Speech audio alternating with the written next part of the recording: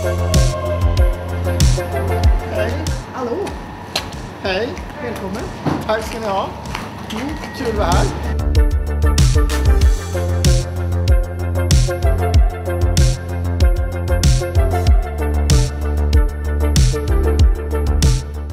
Jo, men jag tycker ju då att utbildning det är så himla viktigt och jag brinner för det för att det är liksom det som driver samhällen framåt. Men sen så också en annan viktig sak för mig det är att utbildning är kanske det bästa sättet att utjämna livschanser.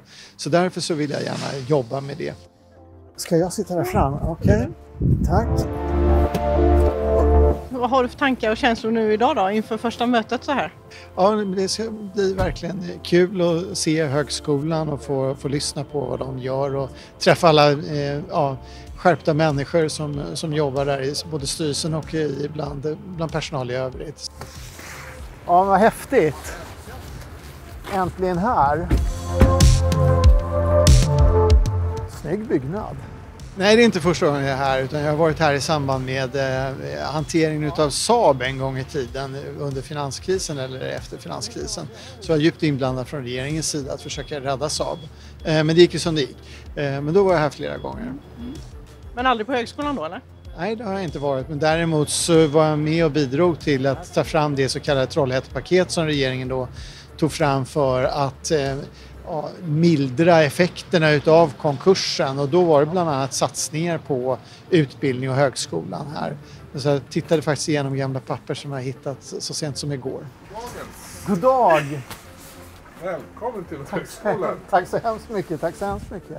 Men det är naturligtvis det fokuset på AEL som ni har där och som jag ser fram jättemycket emot att både lära mig om och också liksom mer förstå i grunden för att det, det låter väldigt spännande och det har ett väldigt gott rykte om sig eh, också så att jag har hört mycket gott om eh, just detta och om Högskolan Västs inriktning från, från annat håll eh, som folk berättade för mig när de såg att jag hade blivit utnämnd till styrelseordförande. Uh, här ser du till exempel prorektorn. Du kan direkt komma hit. Hej! Hejsan! Hans? Jan, Ja. välkommen. Tack ska du ha. Tack, välkommen. Ja, tack, tack, tack. Det ska bli väldigt kul. Väldigt spännande. Ja, Ja. och nu får du verkligen en inblick här allt eftersom. Och hoppas du har haft bra snack med Martin här innan. Absolut, vi körde tre timmar hardcore. Ja, det är bra, vi hade kunnat fortsätta minst tre timmar till tror jag. Ja, precis. Jag har varit myndighetschef i nio år. Jag har ett förflutet som statssekreterare i sex år. Jag har över 30 år i staten och i olika chefsbefattningar. Och jag har en forskarbakgrund. Så jag tror att det kanske kan bidra att jag kan komma in med kompletterande kunskaper, erfarenheter och, eh, och så. Så att det, eh, jag hoppas att det ska bli så. Så vi får väl se. Här till exempel har vi studentkåren. Hej! Här har vi ställföreträdande kårordförande. Hej! Hej där. Hälsa vid handen eller armbågen. Ja. gör man nu för. Så gjorde vi. Hans Lindberg. Det är ja. Hans Hej! Lindblad, vår nya styrelse. Jag är uppvuxen i, strax utanför Stockholm i en förort som heter Saltsjöbaden. Jag är pappa till, till två stycken döttrar.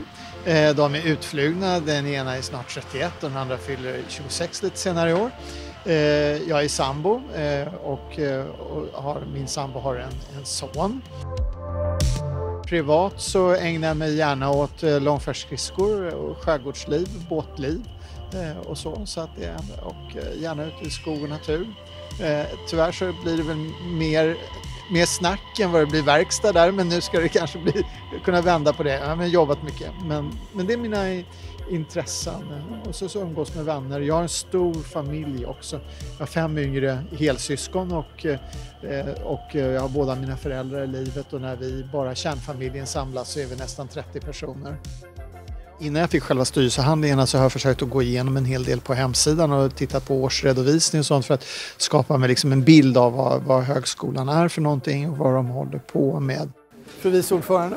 Vi gör så här. Det gör vi. Så, för det är lite skillnader mot andra myndigheter och annan lag, typ av lagstiftning och så. Så att det var, på det sättet har jag försökt att förbereda mig. Hallå, hallå! Ska vi ta och börja dagens möte? Eh, jag ska börja med att säga att jag tycker att det är jätteroligt att vara här som ny styrelseordförande. Jag har sett fram emot detta super, super mycket. Jag tycker att eh, jag fick en fråga varför jag har åtagit mig det här eh, och svaret på den frågan är ganska enkelt. Utbildning tycker jag är det som tar samhällen framåt och sen så naturligtvis frågar regeringen, då ska det ju mycket till för att man säger nej.